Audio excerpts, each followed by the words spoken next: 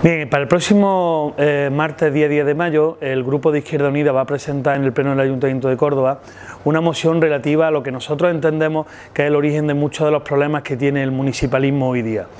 Eh, la reforma del artículo 135 de la Constitución, que se hizo en la última etapa del gobierno Zapatero, eh, la reforma de la administración local, que fue una de las grandes reformas que hizo el Partido Popular, la ley de estabilidad presupuestaria o la tasa de reposición son algunos de los grandes problemas que tenemos en el día a día de la gestión eh, de los ayuntamientos, porque ahorca nuestra capacidad de contratar personal, ahorca nuestra capacidad de desarrollar desde lo público muchísimo de los servicios y además pues le ha quitado competencia a los ayuntamientos que hacen que eh, el ayuntamiento, que es la institución más cercana, pues no sea capaz o nos veamos muy difícil eh, la posibilidad de ayudar a los ciudadanos y a las ciudadanas cuando vienen con un problema. Por lo tanto, nosotros lo que queremos con esta moción es eh,